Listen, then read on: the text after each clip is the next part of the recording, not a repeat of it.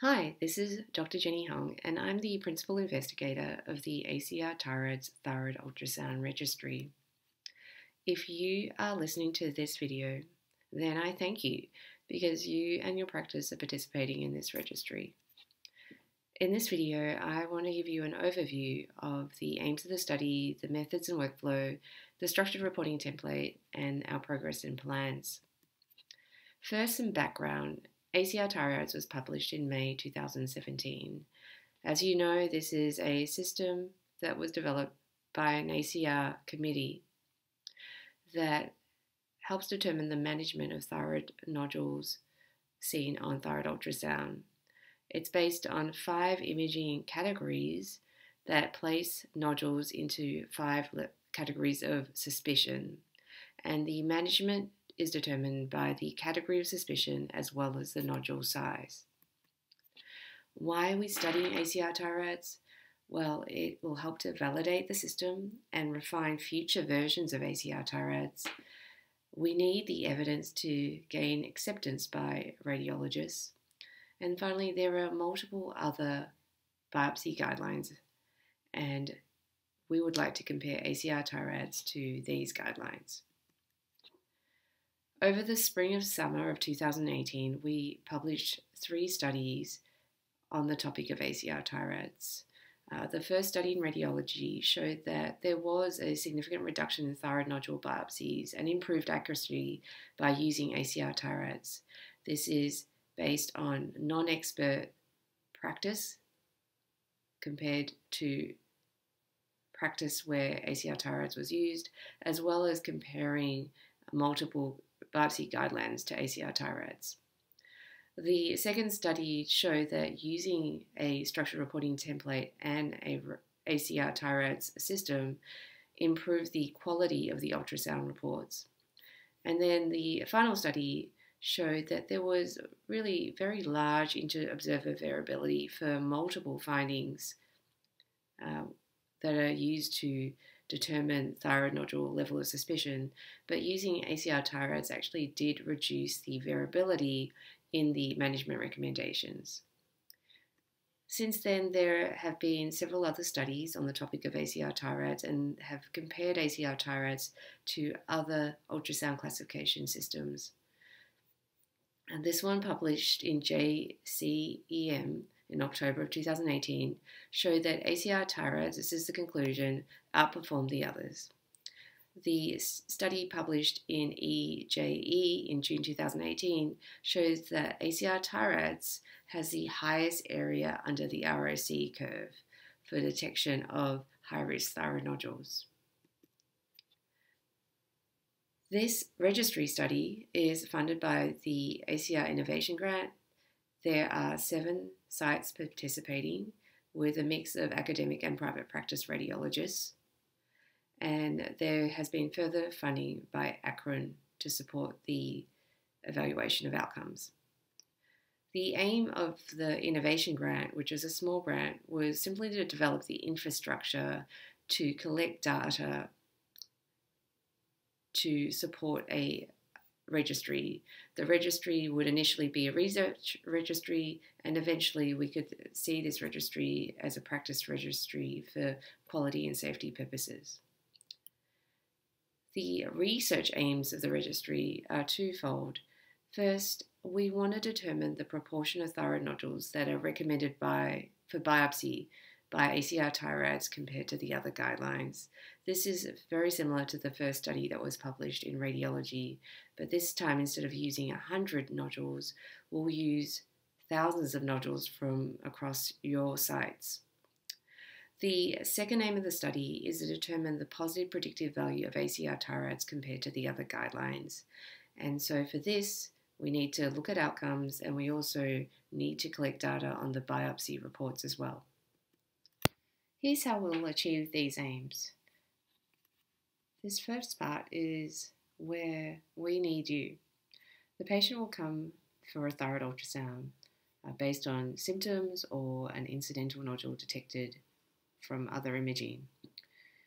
You will then report that thyroid ultrasound using a structured reporting template that I'll review soon.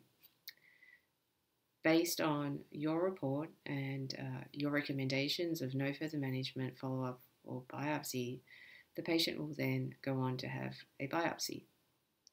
Now, the patient may be going to have a biopsy without a recommendation from you and will include those nodules as well.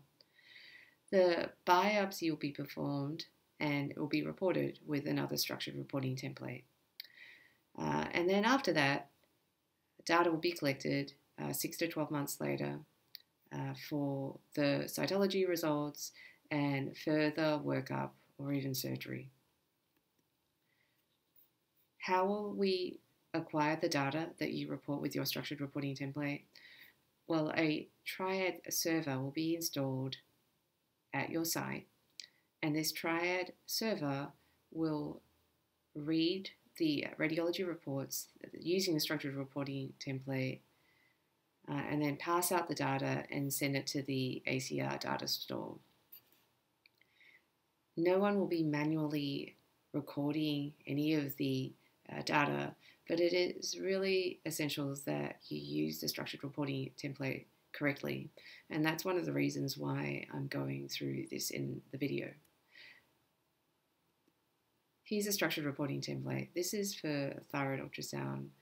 Uh, you can add more to the structured reporting template before and after uh, this field of text, uh, but this is the essential data that we'll be collecting. This first part is uh, three questions, an estimation of the total number of nodules uh, that are equal or greater than a centimetre, and then two questions, the number of spongiform nodules equal to or greater than two centimetres not described below. These are TI-RAD 1 nodules and would not be biopsied under ACR TI-RADS, but would be biopsied under certain thyroid nodule classification systems. Then the next question is number of mixed cystic and solid nodules that are not suspicious, greater or equal to 1.5 centimeters. And this would be TI-RADS 2. Once again, would not be biopsied with ACR TI-RADS no matter what size, but would be biopsied by other biopsy guidelines at the 1.5 centimeter cutoff. If we didn't have these two questions, then we would not get an accurate answer to the number of nodules that are not recommended for biopsy under ACR TI-RADS relative to the other biopsy criteria. Then, if the nodule requires further management or follow-up, further, uh, further biopsy or follow-up, based on the size and the risk category, then you would describe it with this structured reporting template. Now these are drop-down menus, so the text is not this uh, long. Uh, but first we want your maximum size and then the other two dimensions if you wish, the location of the nodule, and then the five categories are composition, echogenicity, shape, margins, echogenic foci. If there are additional echogenic foci, then you would describe them in these other two lines because more than one echogenic foci can account for the total score. If you have no echogenic foci or just one type of echogenic foci, then you would delete these two additional lines. After that, we ask you to add up the points, uh, which puts the patient into a certain risk category. Uh, if the patient has had previous ultrasound, then you would answer whether it's change in size, change in features, or risk category. And then finally, you give your recommendation of a biopsy, a follow up ultrasound, or no further follow up. And if there has been no previous ultrasound, then you would delete this follow up information. Then, when the patient comes for a biopsy, they you also use this structured reporting template. Uh, up to two biopsies are performed typically, and here uh, this line is a reference number based on prior ultrasound. So if this nodule that you're biopsying was the nodule number two based on the previous template, then you would put two here. And we added this here because we can link the biopsy template and results to the diagnostic ultrasound. And doing this means that you don't have to dictate all the features again. Uh, you give the maximum size, the location, and then you give the TI-RADS risk category and then the reason for biopsy, which may be that it met criteria, it was indeterminate on prior biopsy or non diagnostic, or there was other factors, patient, referrer, or other. So the next steps uh, are to install the Triad server, and then when your site is giving and sending data, we'll monitor the data and give you feedback. Uh, we'll collect this data for 12 months, so you'll be using this structured reporting template for diagnostic thyroid ultrasound and biopsy for 12 months, and then we'll collect outcomes. Now, along the way, I'm here to help.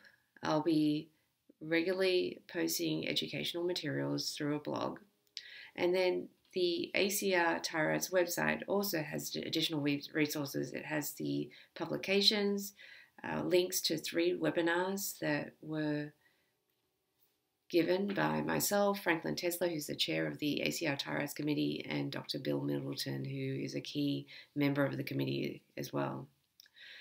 Uh, there's also a link to an atlas, uh, the structured reporting template that we're using, and also a sonographer's worksheet. And that is all I have to say. And I thank you again for participating on the study. I'm open to answering any questions you may have and look out for additional resources from me. Thank you so much.